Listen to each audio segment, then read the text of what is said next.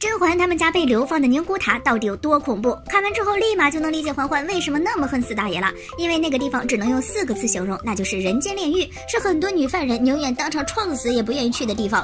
宁古塔虽然名字里有个塔，但其实呢是一个地名，就是现在的黑龙江牡丹江市。在清朝呢是专门用来流放犯人的地方。但其实最可怕的不是流放宁古塔，而是去宁古塔的路上。罪犯获刑之后，需要在规定时间内从北京徒步走到黑龙江，路途遥远，每天要走几十里路，而而且还都要带着。极重的脚铐和枷锁，官差们为了赶在规定时间内将犯人送达，还会不断的用鞭子抽人，催着赶路。如果有人受不了，想要逃跑，那官差们下手可一点都不会手软，轻则拳打脚踢、棍棒伺候，重则直接卸成零件。因为一旦有人逃跑成功，官差们还得按人头顶上去，穿着单薄的囚衣，带着十几斤重的枷锁、脚铐赶路，每天只给一扣扣的饭吃，甚至是不给饭吃，稍微走慢一点还会被鞭子抽。越往东北走，天气越冷，刑具会把皮肤磨破，反反复的流血化脓。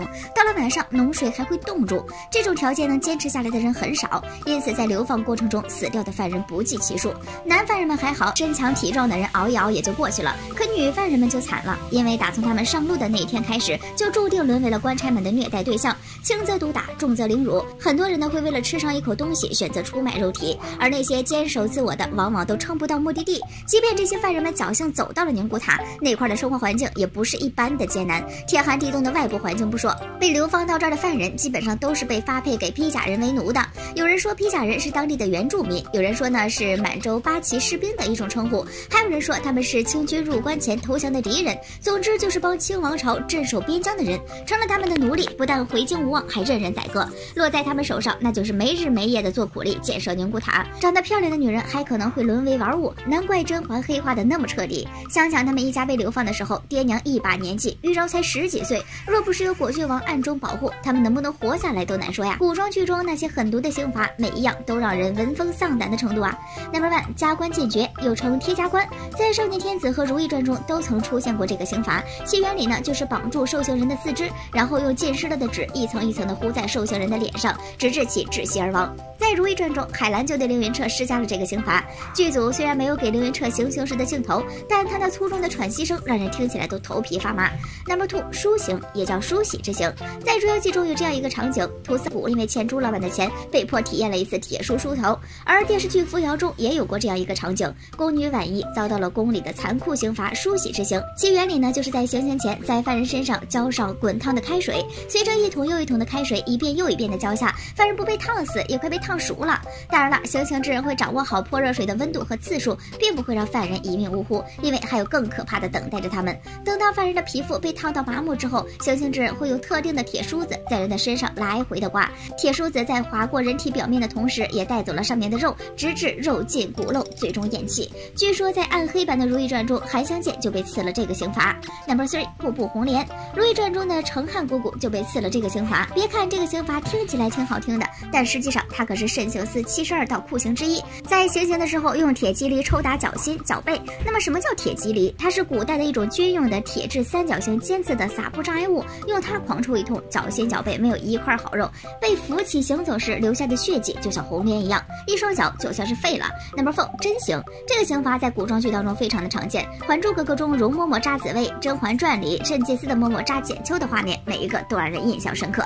所谓的真刑，就是用长针扎进手指中，这种刑罚呢看不出伤口，却能让你十指连心的疼，每一样光听起来就让人头皮发麻般的存在呀。看过这些刑罚之后，才发现原来砍头竟然是最不残忍的刑刑罚。古代残酷刑罚之凌迟剔骨，这是一种极其残酷的刑罚，在保证犯人还活着的情况下，一刀一刀的将其身上的肉割下来，直到差不多把肉割尽，才剖腹断手，使犯人毙命。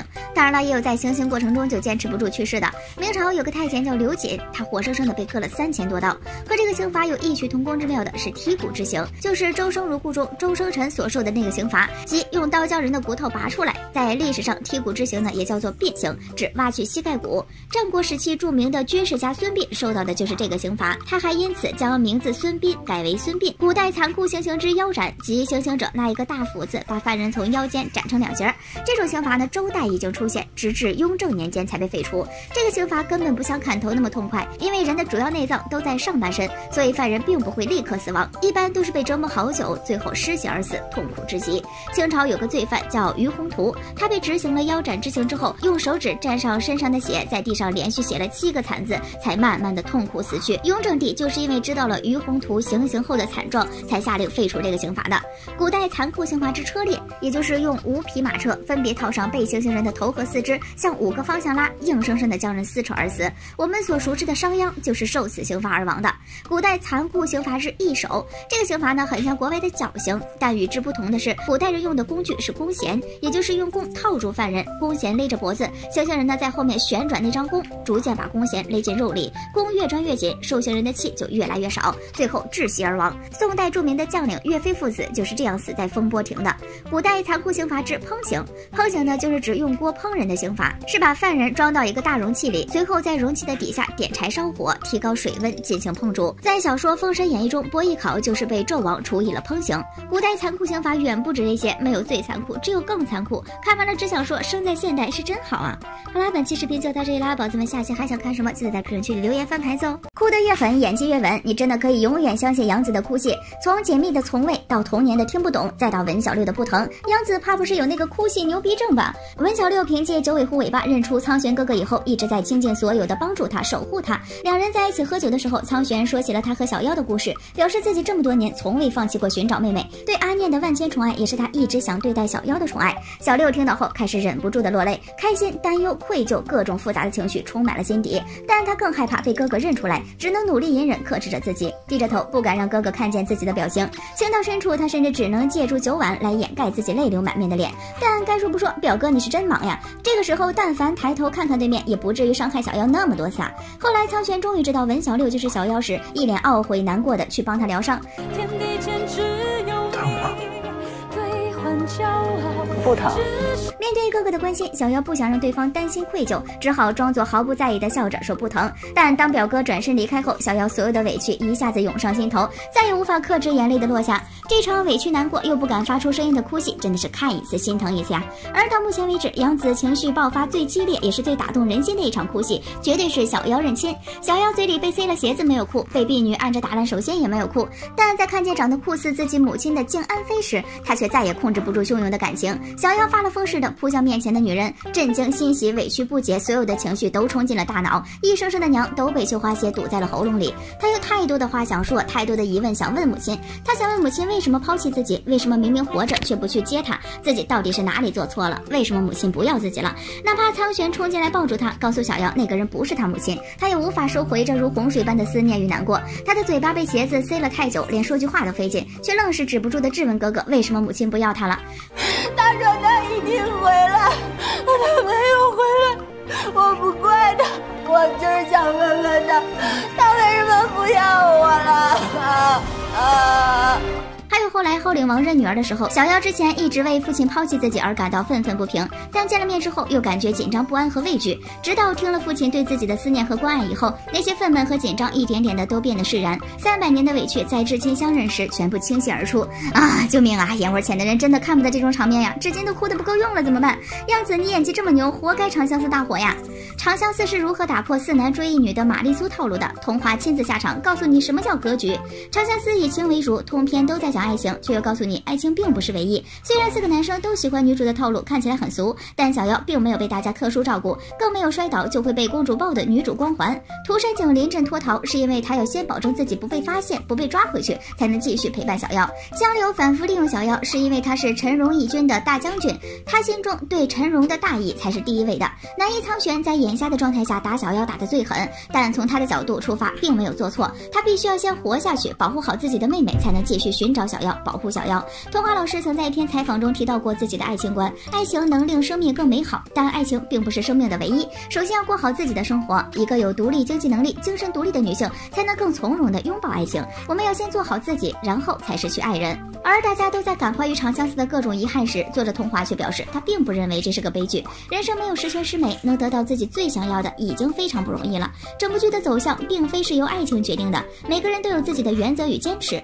这也是为什么苍不。不能和小妖在一起，相柳结局必须死，而只有景才是最适合跟小妖走到最后的人。苍玄的终极目标是天下，是权力，只有拿到这些，才能真正保护自己想保护的人。最后他也确实做到了。相柳呢，心怀大义，挚爱小妖，却深知立场问题，从不把爱宣之于口。最后他给了小妖一切他能给的，尽忠尽义，战死沙场，也算是死得其所。而涂山璟看透了人情冷暖，早已不在乎权势、财富与名声，他只想要和小妖在一起，而小妖也只是想要纯粹的爱和长久的陪伴，他们都得到了。另外，小妖历经了三百年的坎坷，却依旧能够心怀善念，向往光明，思想观念也是十分的通透。面对生活这个大火炉，他没有把自己交给某一个人去依赖，而是独自承受生活的炙烤，保持着自我独立。人生如同走夜路，哪怕心里再不安，与其忙着流眼泪，还不如睁大眼睛看清前面的路怎么走，走自己的路，就算哭着也要自己走完呀。正是因为长相思既有缱绻的爱情、珍贵的友情、互相守护的亲情，又有修身齐家治国平天下的家国情怀和守护众生人人平等的价值观，才能跳脱出俗套的男女情，给大家呈现出真正能看上头的大制作呀。他看他，他看他，他看他，我的天爷呀，这是什么鬼热闹呀？长相思的人物关系网也太炸裂了，这几个人站在这儿不用说话就是修罗场啊！小妖终于起了大号，换回了自己的号令大王姬身份。除了表哥苍玄，其他男嘉宾还是第一次看到小妖女装的样子。一丈扇拉开，一身红衣华服的小妖惊艳四座，三个男主都看出了一脸不值钱的样。苍玄一脸的骄傲，想扭头给兄弟炫耀一番，看见没？这是我妹，我的。不成想看到了更让自己心烦的一幕，风龙一见钟情，坠入爱河。看向小妖的三十秒里，他连以后生的几个孩子叫啥名都想好了。涂山璟一秒切换三种心情，先是感慨小妖好美，而后又自卑自己配不上小妖，再一转头看见风龙真烦，又多一个情敌。相柳登上小号防风被也到达了现场，看见小妖变身大王姬，嘴角嘚瑟的一弯。Oh my god，娶她！表哥内心 OS：怎么这么多男人惦记我妹，根本开心不了一点儿。等到了好大一张床，呃，不是，是好大一张船上，这群人开始正面接触，那关系真是比我掉的头发丝儿都乱呀。风龙全程跟开屏的孔雀一样，小妖一坐下，他就赶忙给人家倒酒，脑子一转，又说女孩子还是喝果酒吧。看到这一幕的苍玄和景，想刀人的心都有了。而坐在苍玄身边的新月开始给哥哥助攻，还不忘拉上景一块吐槽。还没反应过来的景刚附和了一句，风龙又开始 Q 防风异应。你们兄妹可真是一个比一个损呀！随便说一句话，那都是在雷区蹦迪。塑料夫妻营业完毕以后，各自心里都生了一口闷气。防风异应只想跟猴哥贴贴，景则是担心自己和小妖的关系。坏女人每次出现都扣我分，嘤嘤，小妖不会不高兴了吧？好不容易逃出修罗场饭桌，小茶壶忙着哄女朋友，防风异应呢忙着跟猴哥搞地下情。苍玄看见妹妹被泡，心里直接破防，抱着新月一起跳水。全场只有傻狗风龙是真的捉鱼去了。还有二十六集的预告，又是新一轮的修罗场。小妖忙着跟男朋友眉目传情，新月和异应都在努力当哥哥的辅助，帮哥哥上分。只有苍玄一脸的不爽，哥什么哥，我才是他哥。最后小妖单独把老 baby 叫出去私聊，顿时整个屋子里只剩下了防风兄妹是开心的，尤其是防风贝，你好歹收敛点呀，走那几步路都快把剩下八个头都摇出来了。这些人一个人就有八百个心眼子，八个人凑到一起不得五千五百九十九个心眼子？哦，忘了说了，凤龙缺一个。阳光开朗大男孩，阳光开朗大男孩。好啦，本期就到这儿吧，宝子们还有啥想看的，记得在评论区里翻牌子呀。